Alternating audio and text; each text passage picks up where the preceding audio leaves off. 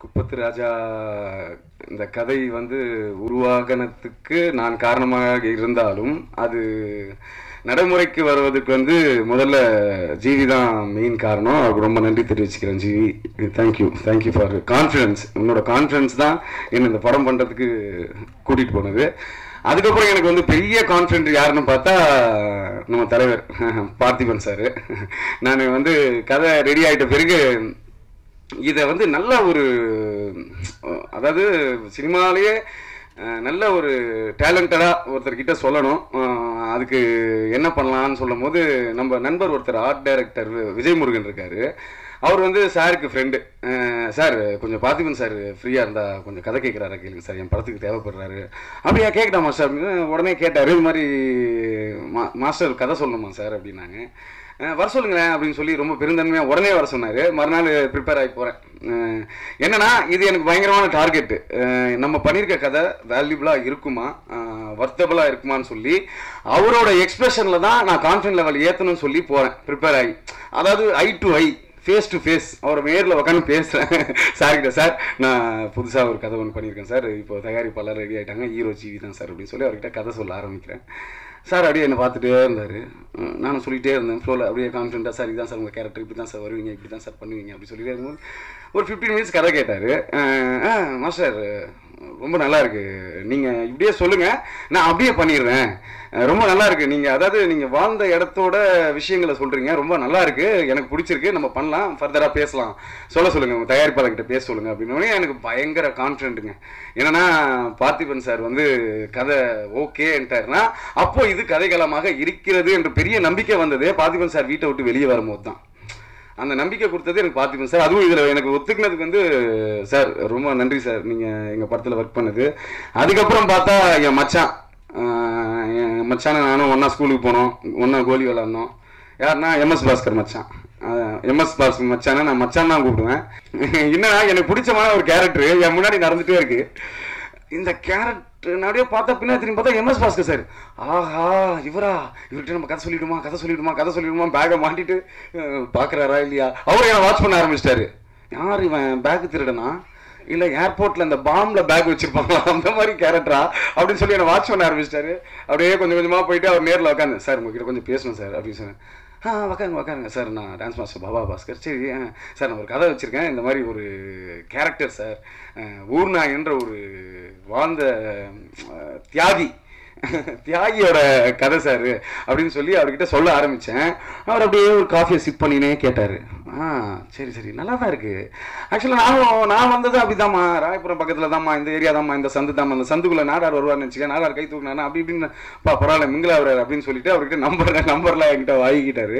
வாங்கிட்டு சரி சார் கூப்பிட்டாருன்னா இந்த இடத்துல நம்மளுக்கு ஒரு கான்ஃபிடன்ட் லெவல் அதாவது செவன்ட்டி ஃபைவ் பர்சன்ட் இன்க்ரீஸ் ஆன கான்ஃபிடென்ட் எம்எஸ் பாஸ்கர் சொன்னார்னா இன்னும் ஹண்ட்ரட் பர்சன்ட் நான் ஃப்ளோவில் பண்ணுவேன்ல. அதாவது நம்ம கிட்ட ஒரு விஷயம் இருக்கு. அது நல்லபடியாக மக்களுக்கு ப்ரெசன்டேஷன் பண்ணணும் தான் ஒரே ஒரு குறிக்கோள். அது அவர்கிட்ட இருந்து வந்தா ரொம்ப சந்தோஷப்படுவேன்னு சொல்லிட்டு நான் ஆஸ் யூஷுவல் போயிட்டேன். எம்எஸ் பாஸ்கர் சார் கிட்ட கதை சொல்லியிருக்கேன். அது ஃபோன் வரணும். கண்டிப்பாக பிடிச்சதுன்னா ஃபோன் பண்ணுவார். அப்படின்னு நினச்சிட்டு நாங்கள் போய் ஆஸ் யூஷுவலாக டிஸ்கஸிங் போயிட்டே இருக்கோம். திடீர்னு பார்த்தா மூணாவது நாள் ஒரு ஃபோனு ஃபோன் எந்த நம்பர்னு தெரியல. அஹ் ஒருத்தர் எடுத்தாரு என்ன மச்சான் என்ன பண்ணுகிற அப்படின்னாங்க. யாருங்க? அப்படின்னு. நான் மச்சான் இப்போதான் பார்த்தா அதுலயும் மறந்துட்டு பார்த்தேன் நீ நான் தான் மச்சான் ஊர் நாயா? அப்படின்னா.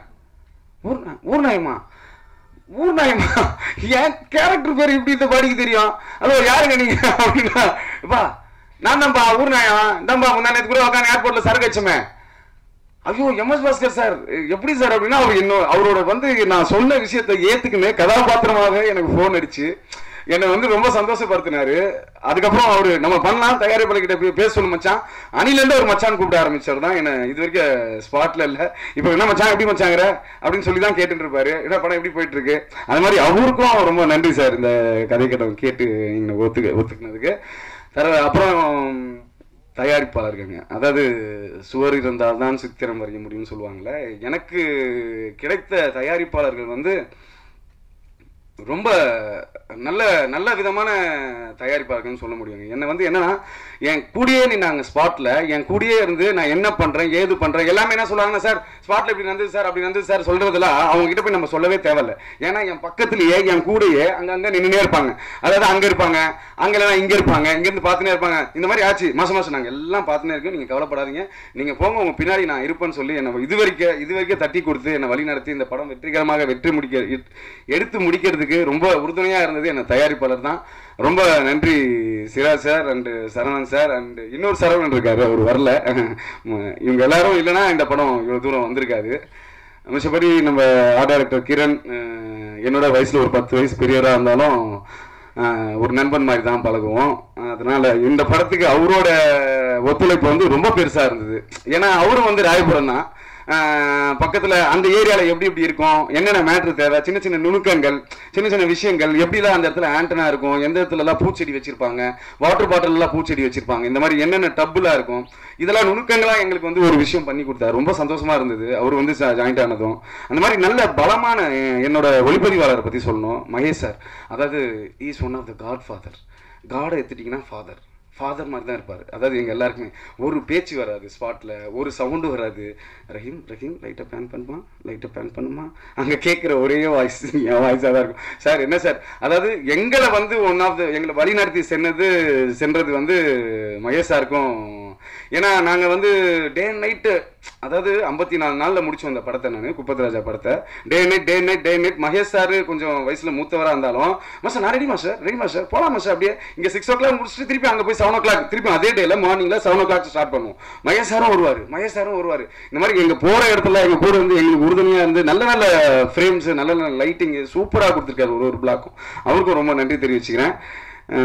இந்த மாதிரி பலமான ஒரு டெக்னீஷியன்லாம் சேர்ந்தது தான் இந்த குப்பத்ராஜா இது முழுக்க முழுக்க உழைப்பால் உருவான கதை தான் என்னோட முதல் படம். இதில் வந்து இதுக்கப்புறம் ஆ ஐயோ சாரி பின்னால இருந்து நோண்டுறாங்க. மதுமிதா மறந்துட்டேன். மது மதுமிதாக்கு வந்து ஃபஸ்ட்டு கல்யாண வாழ்த்துக்கள். அவங்களுக்கு கல்யாணம் நடந்திருக்கு. இது கிளாப் பண்ணுங்களேன். வேணாவா சரி ஓகே கல்யாணம் நடந்திருக்கு. அவங்க கல்யாணத்துக்கு இன்வைட் பண்ணாங்க.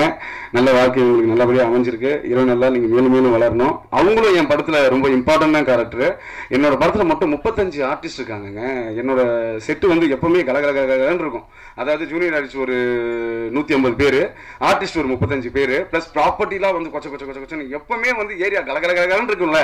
அந்த மாதிரியே என்னோட ஐம்பத்தி நாலு நாளையும் நான் கழிச்சேன். ரொம்ப சந்தோஷமாக இஷ்டப்பட்டு கஷ்டப்பட்டு எடுத்திருக்கோம் இந்த படத்தை. வரப்போகுது ஏப்ரல் ஃபிஃப்த் ரிலீஸு கொஞ்சம் பதட்டமாகவும் இருக்கிறது. கொஞ்சம் கான்ஃபிடென்ட்டாகவும் இருக்குது இதுக்கப்புறம் இறைவன் கிட்ட தான் இருக்குது பூனம் பஜ்ஜா வந்து ஒரு நல்ல கேரக்டரில் நடிச்சிருக்காங்க. அவங்க வந்து ரொம்ப அழகாக ரெண்டு பேரும் ரொம்ப டெடிக்கேஷனுங்க எதுலனா இவங்க நடிக்கும் போது இவங்க விட்டு கொடுக்க மாட்டாங்க இவங்க நடிக்கும் போது இவங்க விட்டு கொடுக்க மாட்டாங்க.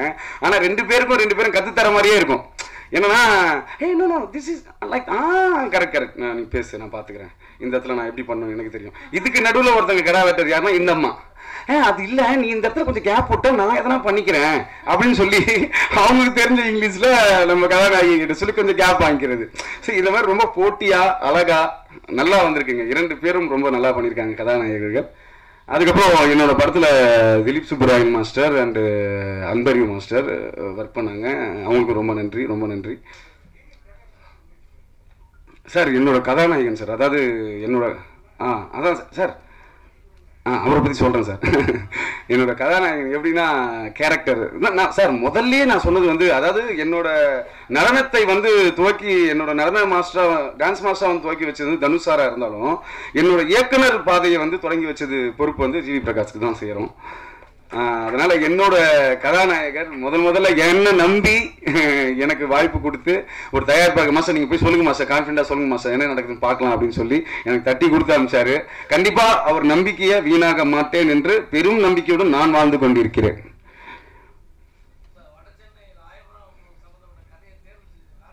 சார் ராயபுரம் கிடையவே கிடையாது சார் இது. இல்லை இல்லை இல்லை சார் ராயபுரம் ஆள் தான் பட் இட்ஸ் வண்ணாரப்பேட்டை சார் அதாவது ஒரு நால் ஸ்டாப் தள்ளி. அந்த பக்கம் சார் வண்ணாரப்பேட்டை கதை. அதாவது வண்ணாரப்பேட்டை கதை கூட கிடையாது சார் நான் சின்ன வயசுல வந்து பார்த்து ரசிச்சு சில சுவாரஸ்யங்கள் இருக்குல்ல சார் சில சண்டைகள் இருக்கு சார் சில அன்பான விஷயங்கள் இருக்குல்ல சில சில கூட்டமைப்பான விஷயங்கள்லாம் பார்த்து பிரமிச்சிருக்கேன்ல. அதெல்லாம் இந்த குப்பத்து ராஜால கொஞ்சம் சினிமா விஷயங்களும் சேர்த்து கலந்து செய்யலாம்னு சொல்லி தான் ஒரு குப்பத்து ராஜா.